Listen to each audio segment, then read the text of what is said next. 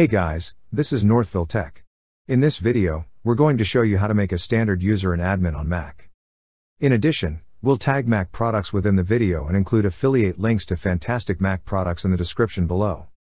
To start, click on the Apple logo at the top left corner of the screen. On the drop-down list, click on System Preferences. Under System Preferences, you'll see several options. Click on the option that says Users and Groups.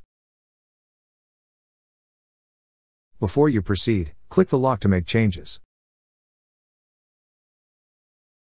Next, enter your password. Then click on Unlock. Now, select the standard user account you wish to switch as an admin. At the bottom part of the pop-up window, you'll see an option for allow user to administer this computer. And beside it is a tick box. To allow, click on the tick box. After that, click lock to prevent further changes. That's how you make a standard user and admin on Mac. Thank you so much guys for watching and if you have not yet subscribed to our YouTube channel, Please subscribe to our YouTube channel as we create tech videos almost every day. Also, check out our website northvilletech.com for great tech articles, and our recommended resources in the description below for various sign up bonuses.